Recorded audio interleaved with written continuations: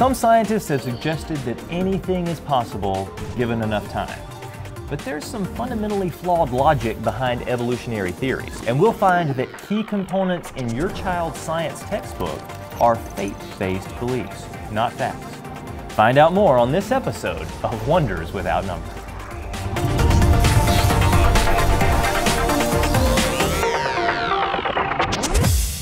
Take you to a cave. This one's famous. It's in Australia. The bushrangers found it first and used to live there. It's called Jenolan Cave. I went back there just a few years ago, but they told me the caves were 400 million years old.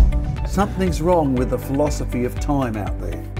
Most of the people who do geology never go measuring stalactites. Okay. So they're giving you hearsay because it suits their religious philosophy of wanting to put God out because they can substitute time for God. Right.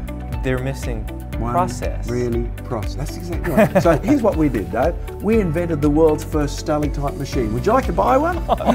There's not much of a market for these. You see the stalactite growing? Right there. That started one year ago exactly. right? Really? Yeah, but you know what else we're doing?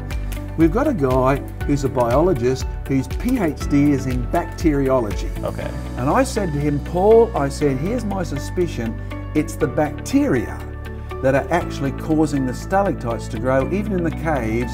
That's why when there's mulch there and water, Uh-huh. the bacteria can move and they chomp it up and they reprecipitate it, just like they Uh-huh. deposit lime in your body. What I've seen over the last few minutes are experimentation. And is actually pointing to creation, not billions of years of time. No, the time is eliminated. You cannot say the Bible can't be right because the sta caves take millions of years. Yeah. No, they don't. They take the right process. That's and when the process is right, the time you don't need at all.